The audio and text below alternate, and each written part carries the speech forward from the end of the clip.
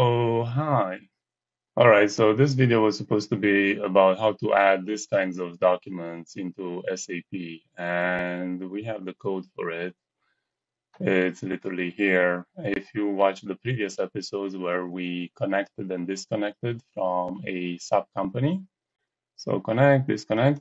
Now we also added the sales order. That code is still the same, but now we're doing this bit here where if the sales order addition is successful, we also add a linked down payment invoice and an incoming payment. This is usually useful if um, you have an integration with SAP that downloads from a web shop the orders and you want to also capture the payment straight into SAP against two additional documents, a linked down payment invoice and an incoming payment.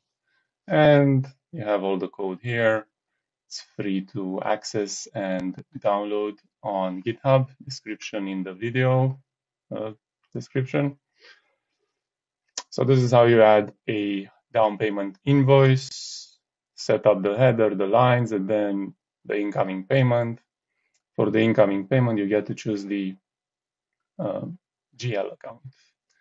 And the rest of it is pretty much the same, connect and disconnect. That's it. Hope you enjoyed this video. Bye. Oh, no, no, no, no, no, no. Actually, I hope you're still here.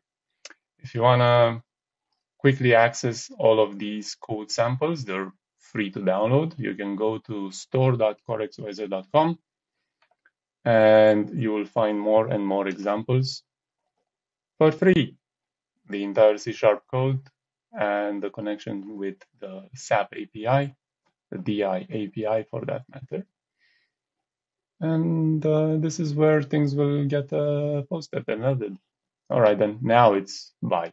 Bye.